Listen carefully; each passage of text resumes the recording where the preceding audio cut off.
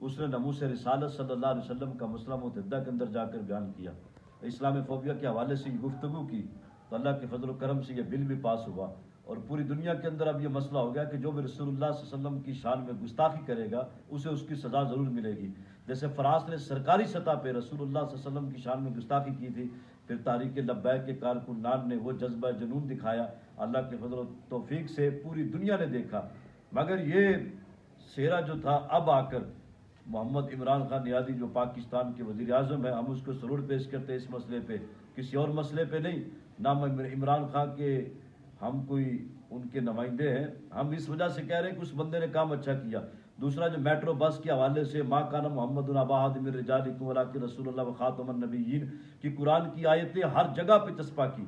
Metro का station हो, लाहौर हो, जहाँ मर्ज़ी हो कई कई दफातर के अंदर ये कुरान की आयत को लिख के लगाया और पूरे पाकिस्तान के अंदर तर्जमा कुरान जो शुरू करवाया है, अल्लाह के फजल करम से बच्चे पहली क्लास से लेकर तमाम क्लासेस के बच्चे तर्जमा कुरान पढ़ रहे हैं। इस हवाले से सबसे बड़ा जो काम किया नमूस रिसालत का, बड़े मौलवी बने। यहाँ पे कई जरदारी के मामला आए, नवाज़ के मामला आए और अयूब खा, कितने सदर गुजर गए, मगर वो काम नहीं कर सके जो इस बंदे ने किया है इस्लाम फोबिया के हवाले से। और नमूस रिसालत का जो बिल पास करवाया है कोई भी शान मुस्तफ़ा में गुस्ताखी करेगा, वो अपने मुल्क में करेगा तो उसका मुल्क उसको सजा देगा।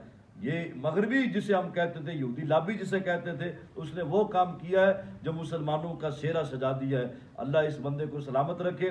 दूसरा मसला, ख़त्म नबूवत का कोई भी काम करे और रसूल वसल्लम के नमूज का कोई भी काम करे वह चौधरी हो या गरीब हो, या अमीर हो, या कमी हो, कोई भी हो, वो हमारे सर का ताज है। हम उसको खराज पेश करते हैं। इस वजह से नहीं, वो लीडर है, या कोई जमात का नुमाइंदा इस वजह से नहीं। वैसे अलहमदुल्ला, हमारा जो ताल्लुक है, वो तरीके बैग से है, सबको पता है। मगर फिर भी हम इसको खराज पेश करते हैं। इस बंदे ने जो काम किया है, वो बहुत अच्छा किया है। हमारे उस्ताद कहा करते थे? रही शरीफ, नमू से रिसालत में ये काम कर, मैं तेरे जूते पालिश करूँगा। मगर वो काम कोई और नहीं कर सका तो उसने इमरान खान यादी ने किया है। अल्लाह पाक इसका ये अमल जो था, ज़रूर कबूल फरमाएगा और मरने के बाद इसको इसका ज़रूर सिला मिलेगा।